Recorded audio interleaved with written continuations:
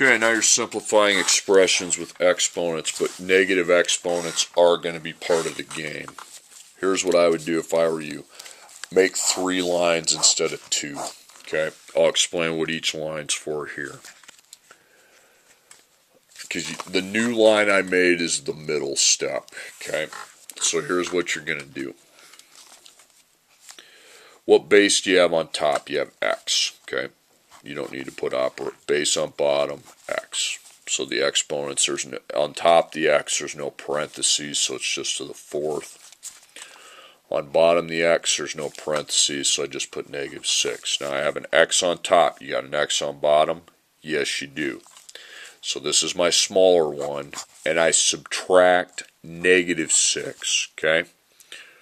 Now you can either just do that on a calculator, or you can make it plus plus, which is well, how a minus negative works, and it's 10, okay?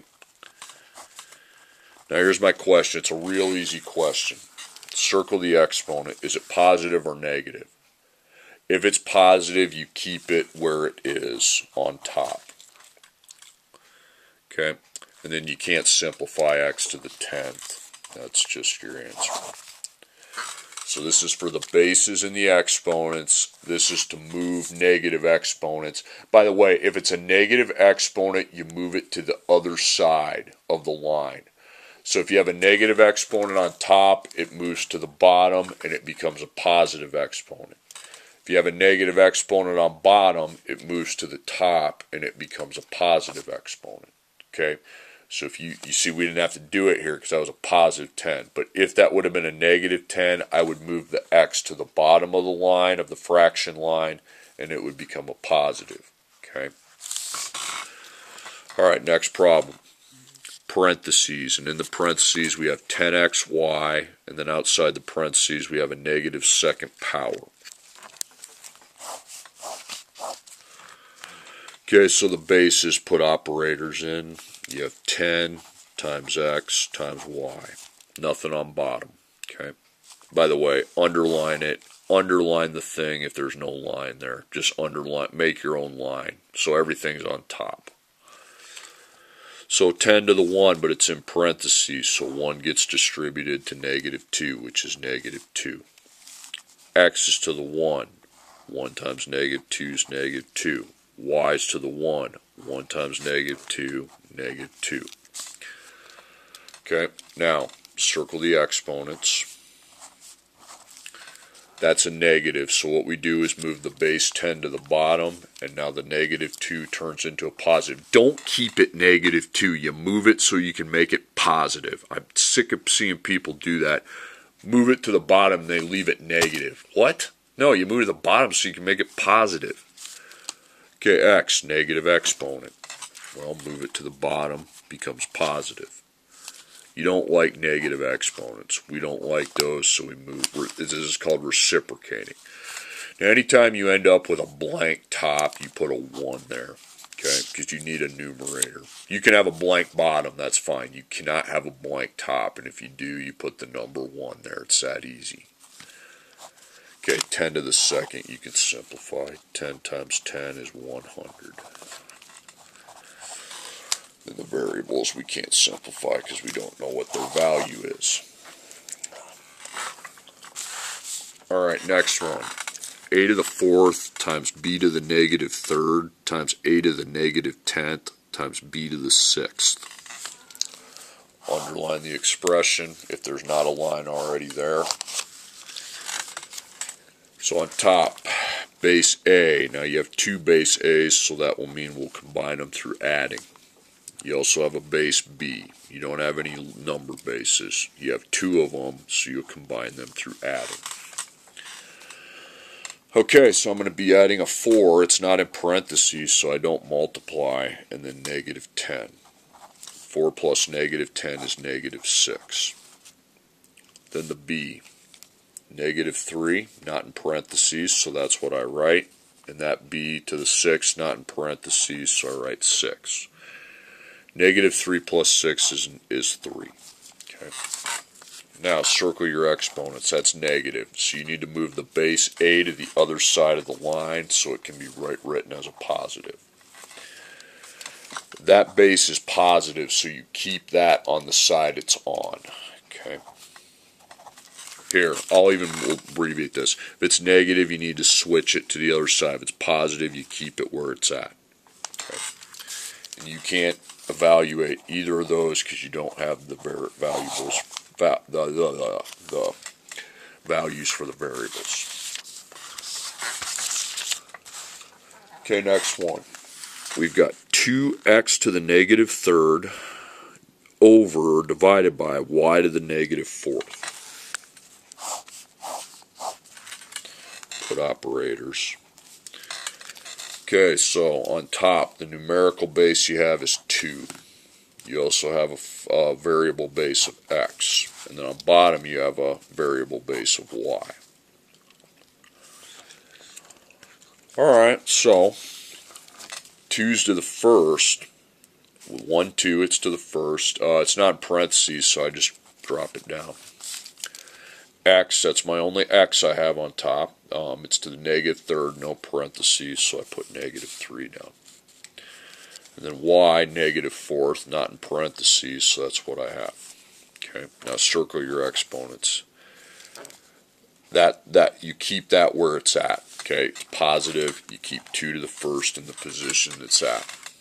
That's negative, you need to switch that. So it's on top now. What's the opposite of top? Bottom. Now you can make the 3 a positive. Then you have this one. That's negative. That's not going to be that's not cool if it's a negative exponent. Switch it. Gee, it's on bottom now. What's the opposite of the bottom? the top. So you bring y to the top where it can become a positive. So basically if it has a negative power, you move it to the opposite side of the line. Top, bottom, bottom, top. Then you can evaluate 2 to the first, that's 2. Y to the fourth and x to the third cannot be evaluated. Okay, next problem, we have a parentheses. In that parentheses, we have 7x to the negative third power, and then a y, and then after the parentheses is closed, we have a negative second power. Underline, put your operators. So on top, we have 1 base 7, 1 base x, 1 base y. No bases on bottom yet. I say yet. So 7 to the 1, but that's in a parenthesis, so 1 times negative 2 is negative 2. x, negative 3 times negative 2 is positive 6. Then the y, 1 times negative 2 is negative 2. Negative you need to move that to the opposite side. It's on top now. The opposite of top is bottom. And when you move it, please write it as positive 2 now. That's why you're moving it, so you can rewrite the negative exponent as a positive. x to the sixth. Well, that stays, okay? So keep that where it's at. Because we want that, we want the exponents positive. That's what this middle step is for. That's negative, don't like that. It's on top. What's the opposite of top? Bottom. 2. Now you can evaluate the 7 to the second. 7 times 7 is 49. x the 6 over 49 times y to the second.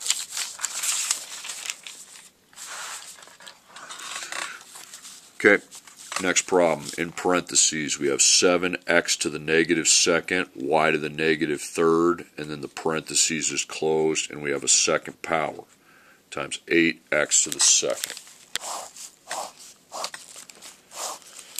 Okay, number factors, put the times operators in. You have a 7 and 8. Now your variable factors, you have x, you actually have two of them, so we'll combine them by adding you have a y base. So 7's to the 1, but that's in parentheses, so 1 times 2 is 2. 8's to the 1, not in a parentheses. Don't take 1 times 2, that's not a parentheses, it's just to the 1. Now there's two x's, start at the one on the left. Negative 2 times 2, negative 4. and then the other x is just 2. So negative 4 plus 2 is negative 2. Okay, then the y, we have a negative 3 times a 2, and that would be negative 6. Now look at all them exponents. Positive, keep it. Keep it where it's at. Positive, keep it. Keep it where it's at. Negative, opposite side. It's on top now. What's the opposite of top? Bottom. Now it becomes positive 2. I should see only positive exponents in this middle part. Negative, that goes opposite. Opposite of top's a bottom, and when you move it, then the negative 6 goes to a positive 6. That's why you're moving it. So 7 to the second, that'd be 7 times 7, that'd be 49. 8 to the first is 8. And then x second times y to the sixth. Okay, these two big numbers we need to perform the operation. 49 times 8. 392. So the answer to that problem is 392 over x to the second times y to the sixth. Okay, here's the next problem. We have a fraction. Now on top there's a parentheses. It has 2mn and then the third power outside. Divided by, no parentheses on bottom, m to the negative third, n to the sixth. Parentheses is only around the top times, and then a second fraction, m to the negative eighth power and n to the sixth power. Remember, on times you want to extend the fraction. Okay, so on top, you do the top and the bottom separate. So if it, uh, there's just a top, you only put the times operators in. The only number base I have is a 2 variable bases on top. You have m, you actually have two of those, so we will combine through adding the exponents, then n. Now bottom, we don't have any number bases on bottom. Those All those numbers are exponents, they're powers. So we have an m variable, just one of them, and then we have an n variable. Now there's two of them on bottom, so we'll combine them on bottom by adding. So 2, 2 to the first, but now it's in a parenthesis, so 1 times 3 is 3. Now the m, there must be two of them since we're adding, so that'd be to the first, and that's in a parenthesis, so 1 times 3 is 3. Then the other m I have is to the negative 8, but it's not in a parenthesis, so it's just a negative 8 power. If it's not in parentheses, there's no distribution. So 3 plus negative 8 is negative 5. Okay, okay n. 1. 1 times 3 is 3. Now let's talk about the bottoms. Here's the m on bottom. It's to the negative third, but the parentheses is not surrounding that, so it's just a negative 3. Now the n, there's two of them. You have a 6, not in a parentheses, because a parentheses just around the top, and then a 6. 6 plus 6 is 12. Now, remember when we have stuff on top and bottom, we need to cross out you have a base 2 on top. Do you have that in the denominator? No. You have a base m. Do you have that in the denominator? Yes. So one of them gets crossed out. Well, we want to cross out the lesser of the two and subtract it from the other side. Now, negative 5, negative 3. Negative 5 is less, okay? And then I minus negative 5. Don't just minus 5. You're minusing negative 5. Now, you could plus plus that, and it would be negative 3 plus 5 is 2, m to the second. Now, n, you have that on bottom, don't you? n to the third, n to the 12th. So get rid of your lower one, and then subtract the 3 from the other side. 12 minus 3 is 9, so that n is now n to the ninth. Okay, so we have 2 to the third. That's positive, so we keep that where it's at. So keep That's positive. Don't move it to the top. You'd move it to the top if it's a negative. If it's a positive, you keep it where it's at. Okay? Means you keep it exactly in the position it's in. And that goes with the n too. It has a positive power. Keep it in the position it's in. Okay? That's it. 2 to the third. 2 times 2 times 2 is 8. Then m to the second times n to the ninth.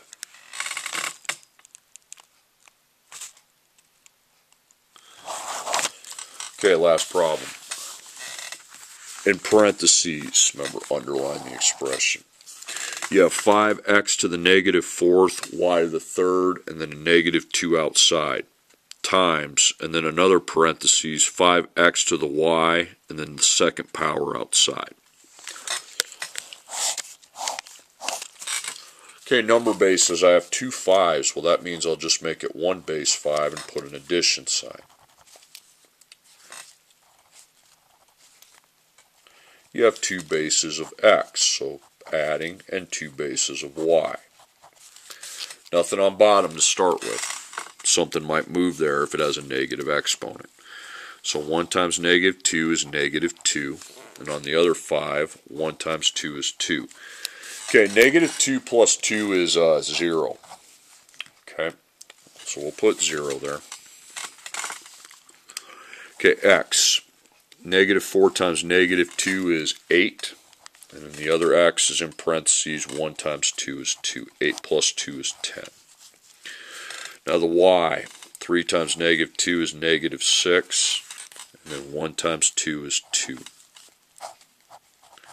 Now look at all your exponents. 5 to the 0. 0 is not a negative, so it stays in the position it's in. 10's a positive, it stays in the position it's in. Okay, that's a y to the negative fourth. That needs to switch positions. So it goes from the top to the bottom, and now it can become a positive. Okay, 5 to the 0 can be evaluated. Anything to the 0 power is 1. Okay.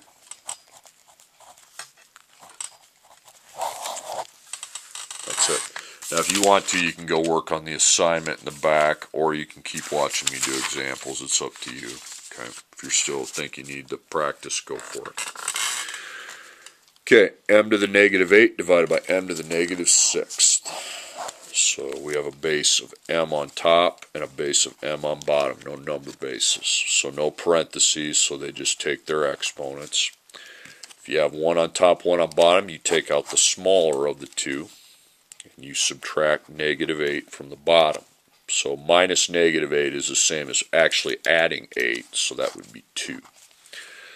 So we got m to the second. It's a positive exponent, so it stays in the position it's at. So if it's in the bottom position now, it stays in the bottom position, so it keeps its negative exponent. Now the top, we need, you can't have an empty top. You can have an empty bottom, not an empty top If you have an empty numerator, you put 1. So 1 over m to the second. You can't evaluate that. Okay, 5xy to the negative fourth power.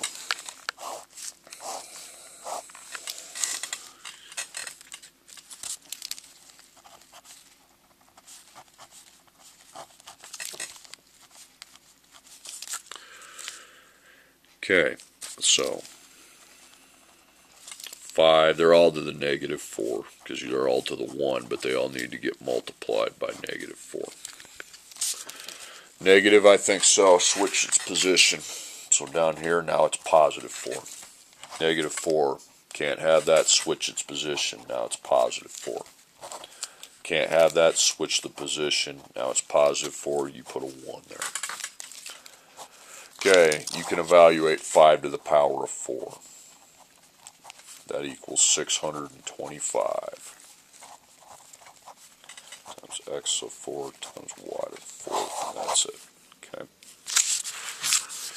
Okay, x to the 5th, y to the negative 6. Remember, this means times. Times x to the negative 9 times y to the 8. Remember, do not put multiplications dots between the base and the exponent. Okay,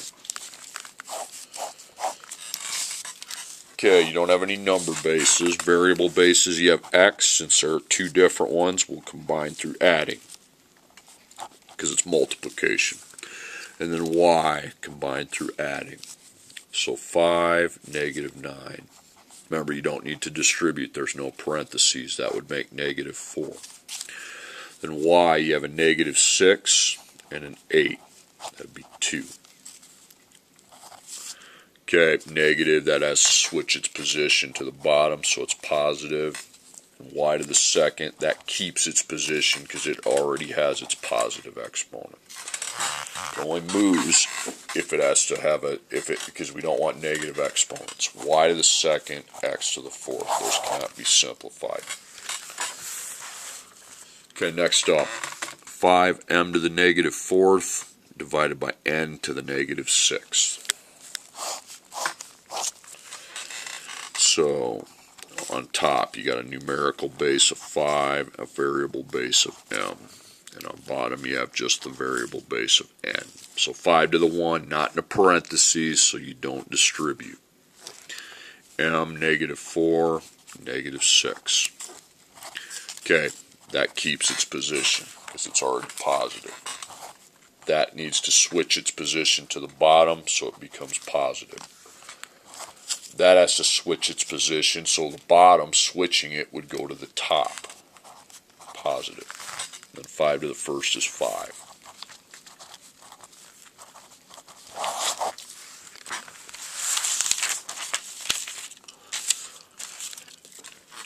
Okay, next one, parentheses, 4a to the negative second with b and then negative 2.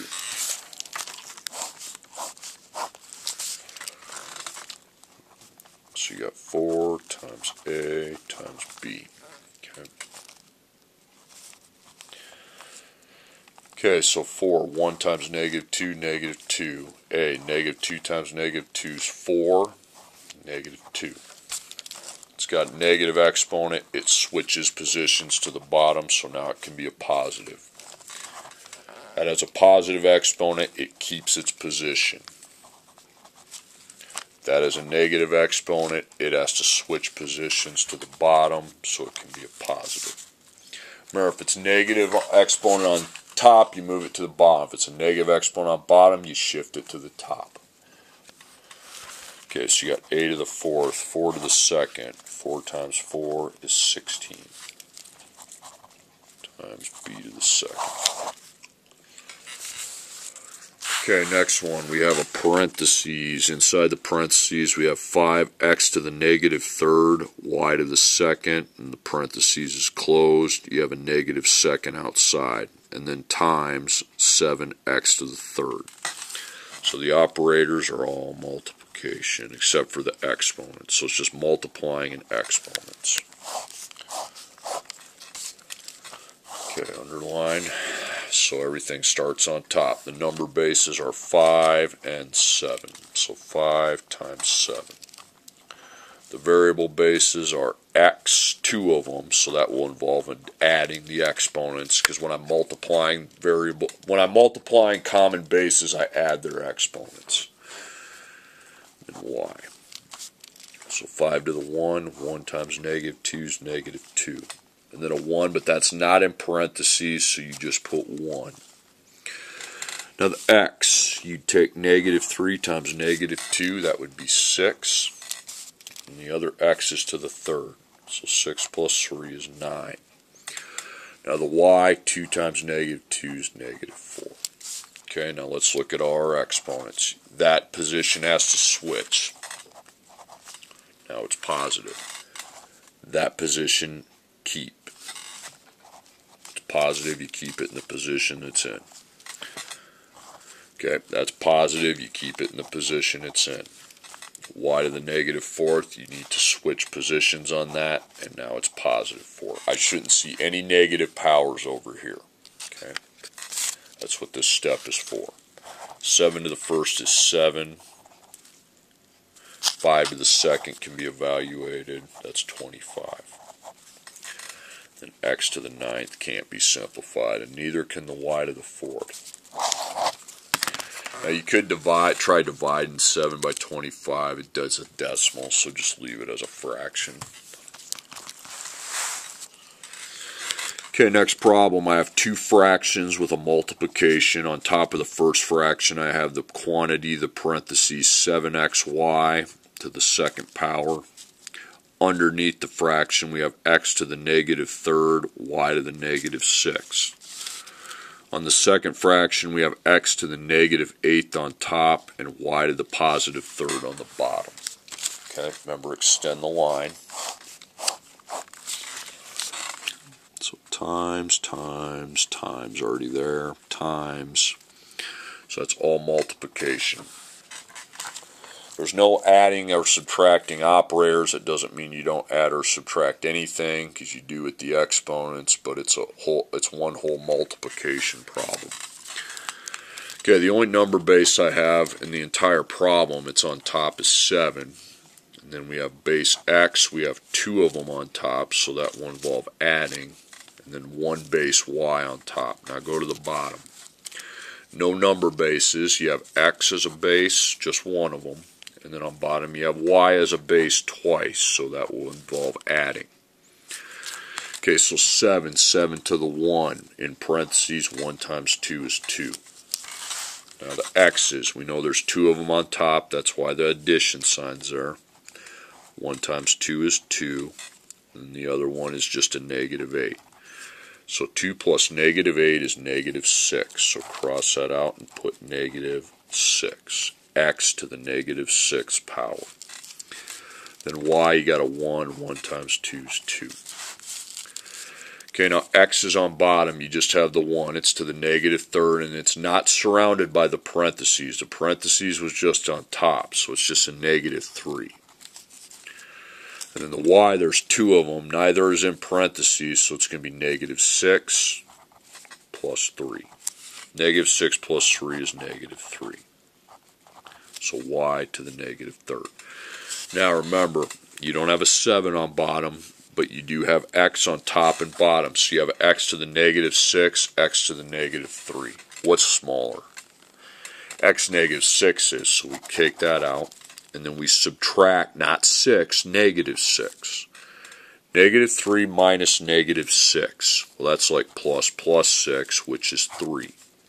So x to the 3. Now, y to the second, y to the positive second, y to the negative third. Which one's smaller? Well, probably the y to the negative third, but you don't minus 3, you minus negative 3. Plus, plus. That would be 5. Okay.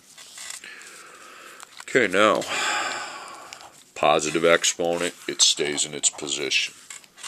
Positive exponent, it stays in its position positive exponent, it stays in its position. A lot of people say, oh, that's a positive, it's got to be on top. No, that has nothing to do with it.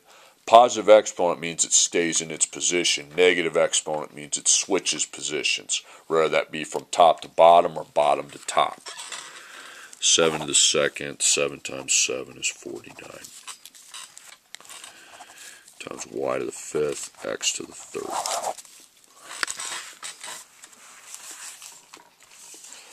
Okay, last one.